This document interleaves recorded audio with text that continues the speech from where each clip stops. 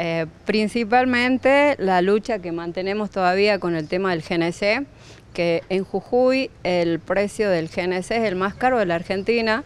Tenemos una localidad acá a 10 minutos, la ciudad siderúrgica, y que está mucho más económico que acá que en Capital. Y bueno, también otros temas que nos afecta mucho el bolsillo y la, y la crisis es el tema de, de los interjurisdiccionales, que está la ley de regularización y todavía no la, no la implementaron porque los autos eh, se presentaron a hacer eh, un inicio de trámite y nunca más aparecieron.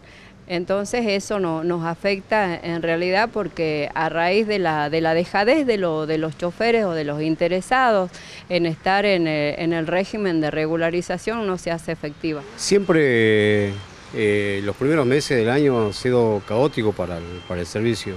Si bien es cierto el, turismo está llegando, pero no, no, no vemos el crecimiento en lo que respecta al taxi fundamentalmente. ¿Notan que no hay un incremento de pasajeros? Y ha mermado un 40%. Hay, este, hay una situación muy especial en el país y bueno, esto cae en todos.